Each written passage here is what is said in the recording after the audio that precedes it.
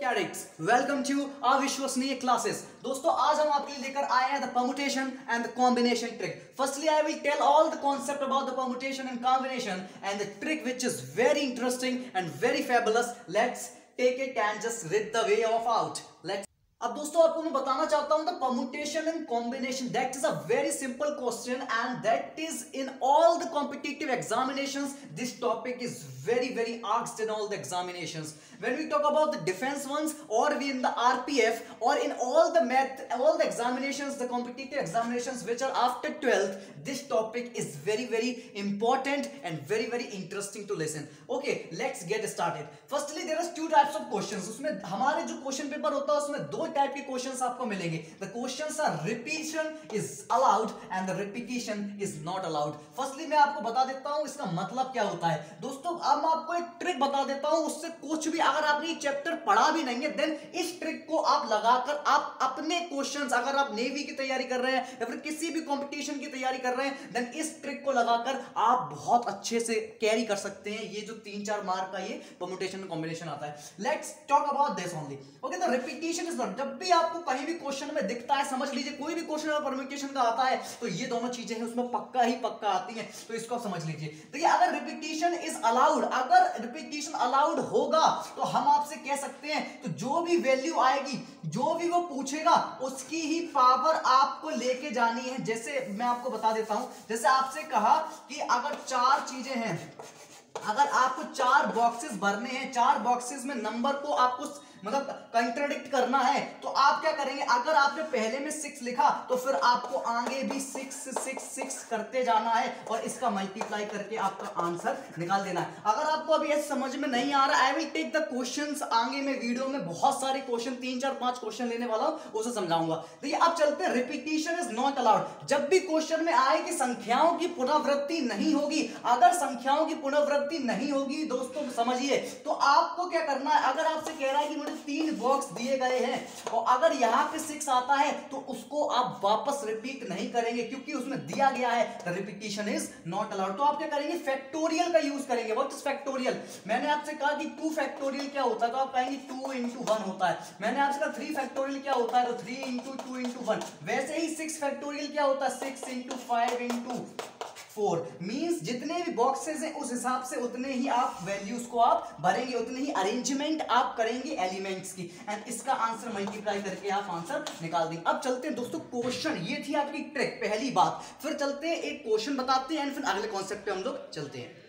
हाँ दोस्तों, चलिए देखते हैं क्वेश्चन जो कि आईआईटी जैम में 2014 में पूछा गया था और एनडीए में 2012 में पूछा गया क्वेश्चन है। एयरफोर्स में ऐसे क्वेश्चन आपको ज़रूर मिलेंगे, आप ज़रूर देख लीजिए। देखिए one two three five six seven से चार अंकों। देखिए, क्या कह रहा है? मैंने आपसे कहा था ट्रिक क्या करिए कि मैंने आपसे कहा था, जितने बॉक्सेस हैं, उतने बॉक्सेस आपको बना लेने हैं। क्योंकि उसने कहा है कि चार अंकों की संख्या बनानी तो एक, दो, तीन, चार। से कितनी संख्याएँ बनाई जा सकती? मैंने आपसे कहा था कि परम्यूटेशन जब हम लोग पढ़ते हैं देन उसमें अरेंजमेंट करते हैं तो आपको संख्याओं की कितनी संख्या बनानी दैट इज़ कॉल्ड अरेंजमेंट कर सकते हैं।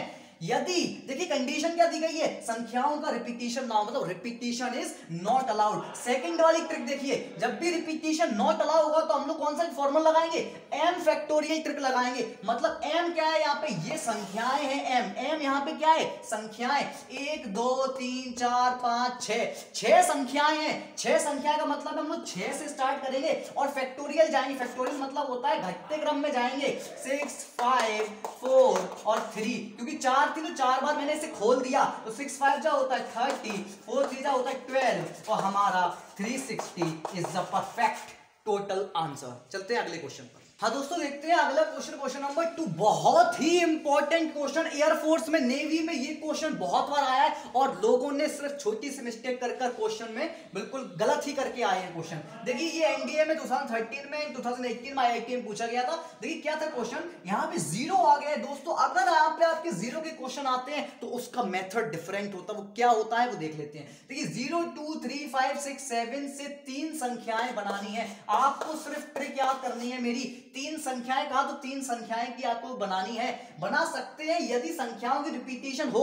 मतलब अब की बार कौन सी ट्रिक लगेगी? रिपीटेशन अलाउड उसका क्या था? एम रेस टू एन मतलब जो संख्याएँ दी गई है एम कितनी बार आपको रिपीटेशन करना है, तीन बार करना है। देखिए, अब समझ लीजिए बात मैं आपको बताना चाहता हूँ। यहाँ पे कितनी संख्या एक, दो, तीन, चार, पाँच, छह। यहाँ पे ज़ीरो भी आ जाता है। तब ज़ीरो के केस में दोस्तों आप क्या करेंगे? अगर आप ज़ीरो पहली वाले में अरेंज करते हैं तो हमारी संख्याएँ कितनी बनेंगी?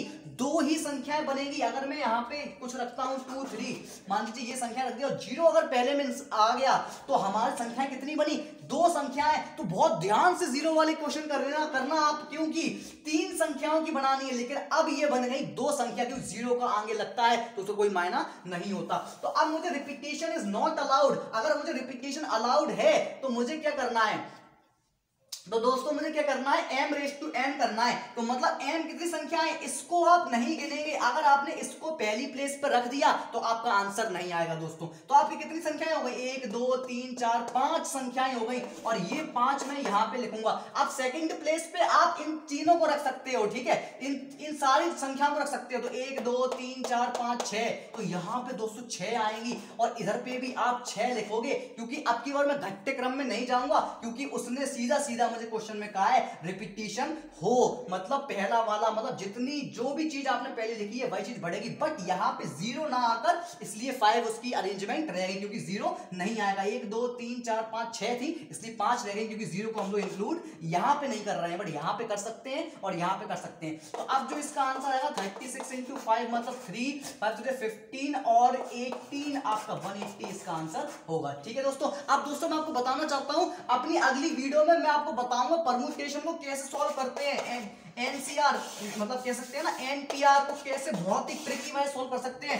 एनसीआर का क्या कर सकते हैं? और N C R is equal to N C N minus R क्या होता है? N C R equal to N plus one C R क्या होता है? ये आपको ट्रिक में लेकर आऊँगा, तब तक के लिए अगर आपने चैनल को सब्सक्राइब नहीं किया hit the bell icon for latest updates and notification के लिए बेल आइकन ज़रूर दबा लें। और जैसे ही मैं अगली वीडियो डालूँगा, वो आपके पास सबसे पहले पहुंचेगी। नमस्कार दोस्तों, आपका दिन शुभ